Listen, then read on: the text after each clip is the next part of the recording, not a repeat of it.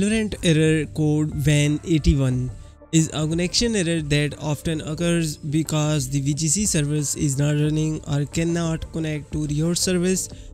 In this video I'm gonna show you how to fix this issue and what are the causes behind this error. Error VAN81 appears because Valorant fails to connect to its server but the reason it fails to connect relates to the Riot Vanguard VGC anti-cheat software you will get this error if VGC is not running or is block, blocked by from connecting to your service. The number one reason the VGC service failed to start, Riot VGC service may fail to start when you launch Valorant resulting in error VAN81. You can fix this error by setting the VGC service to start automatically when you boot up Windows. The VGC service is blocked by a firewall your firewall may block the VGC service from connecting to your server. Adding it to your firewall exceptions list may fix this error. The VGC service is blocked by an antivirus program. Your antivirus program may prevent the Riot Vanguard service from running. The last one, the Riot Vanguard has been corrupted. If the Riot Vanguard installation has become corrupted, try to install it so without wasting any further time let's start this. But before trying any of fixes here are the some tips uh, restart the Riot client if the task manager restart the Riot client open the task manager right click each Riot and Valorant related task and click end task relaunch Valorant and see if that fixes fix the issue just right click on your taskbar and then open the task manager and just close all related to your Valorant like your client and uh, also find here any related to the Valorant file and then close it. Once you have done this process now run your Valorant as an administrator might be this will fix your issue. Now, if still you are facing, then restart your router once might be that will helpful for you. If still it's not working, try to clear your DNS etc. and renew your IP address so this will fix your issue. Just open the CMD, type ipconfig slash renew, hit enter. Once again type the same command ipconfig slash flush DNS and the last one is ipconfig slash register DNS. The last one will work only when you launch your CMD run as administrator. That's it now type exit to close the uh, command prompt. Now the number one method one enable the VGC service. For enabling the VGC service might be some third party has disabled your VGC simply type here msconfig and uh, system configuration will appear. Just open it.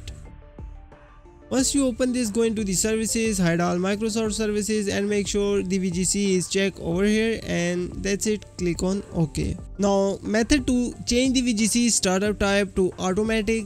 For that just click on the windows icon type here the services.msc and hit enter. Once you have done this just press uh, select any service and press V key so you will see here the VGC right click on it go into the properties and then go into the startup type set it on automatic hit apply okay and then restart your PC once try again. Method 3 allow VGC through Windows Defender firewall. So for that just click on the Windows icon type here run hit enter type here firewall dot CPL hit enter.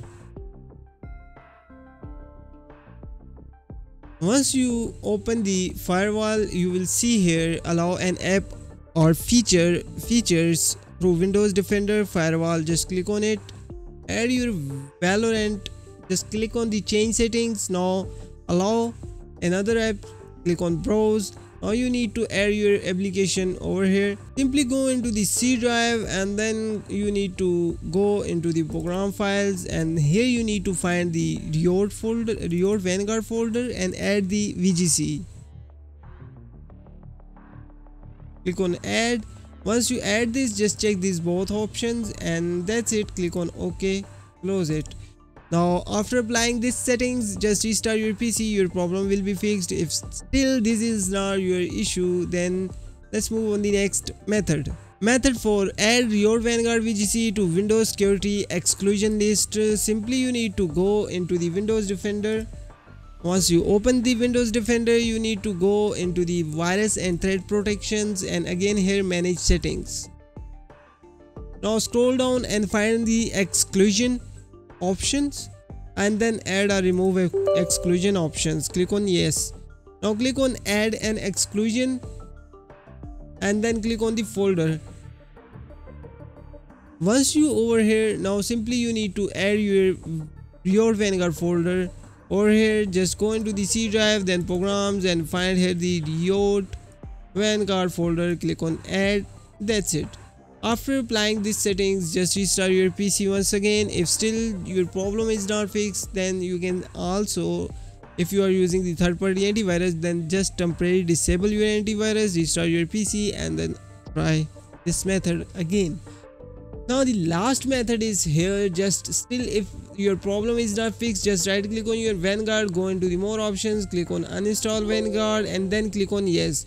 After two minutes maximum two minutes uh, for waiting the uninstallation just restart your game. This time your riot client will automatically reinstall the riot vanguard and your problem will be fixed 100% but in case if you are still facing any issue just let me know in the comment section. Till then just take yourself. Allah hafiz. Bye bye and yeah don't forget to subscribe this youtube channel